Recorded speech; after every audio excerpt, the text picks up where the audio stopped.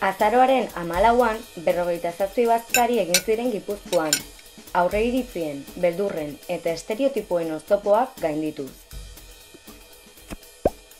COVID-19 pandemia gizarte desberdintasunetan eta pertsonen isolamenduan ondamenak eragiten ari den testuinguru sozial batean, laro malau familian izbildu ziren, maizapi baten inguruan.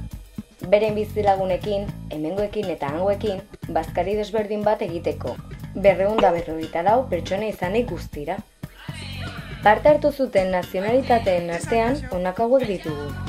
Peru, Maroko, Nigeria, Sahara, Venezuela, Nicaragua, Honduras, Colombia, Senegal, Niza, Ghana, Bolivia, Suiza, Mali, Mongolia, Uzbekistan, Ecuador, Egipto, Argentina, Errusia, Espainia eta Euskadi.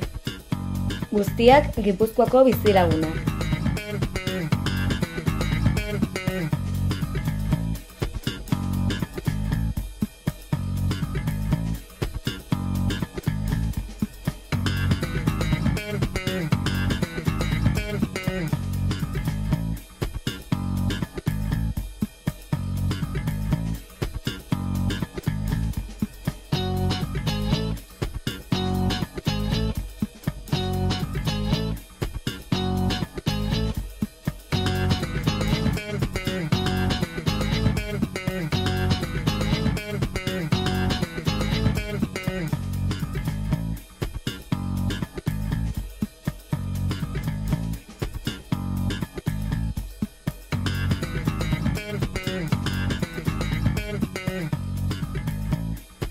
Pertsona politak ezagutu ditugu, barregin dugu.